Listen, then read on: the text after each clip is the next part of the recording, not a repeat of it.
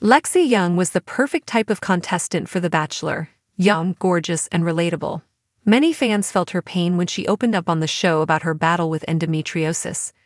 While Joey Graziadei was supportive of her health struggles, it ultimately ended their relationship. The two matched perfectly on many levels but had fundamentally different views on marriage and children. Due to her condition, Lexi Young knew that having children was a top priority before it was too late. In fact, she had her eggs frozen just weeks before leaving to film the show. But for Joey, he wanted a long engagement and children far into the future. The difference of opinions led the fan favorite contestant to self eliminate. Since her time on the show, Lexi Young has used her platform to spread awareness about endometriosis. She recently shared an update on her health. Lexi Young has major health update before surgery.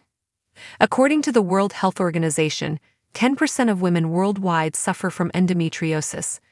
The severity of the symptoms varies, and Lexi Young has stage 5, which is the most severe. Her condition got so bad during filming The Bachelor that she landed in the hospital. Unfortunately, there's no cure for endometriosis, so it's an ongoing battle for Lexi Young and millions of other women. She recently opened up her Instagram DMs to questions from her followers. One follower inquired about Lexi's health. According to BachelorNation.com, Lexi revealed that her medical condition has been really bad lately, she added that she's been stressed and exhausted from battling the painful condition. Another stress was trying to figure out the best time to have another surgery.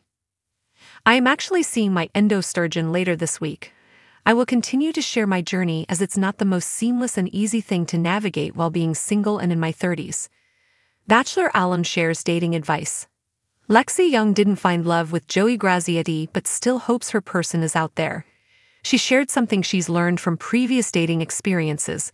She advised her followers on what to look for in a partner. Find someone who gets excited about the same things that you do. Make sure you can be 100% yourself around them. Trust your gut, it's always right. She suggested giving people a chance. Some of my best dates were with people that I wasn't excited about before meeting them.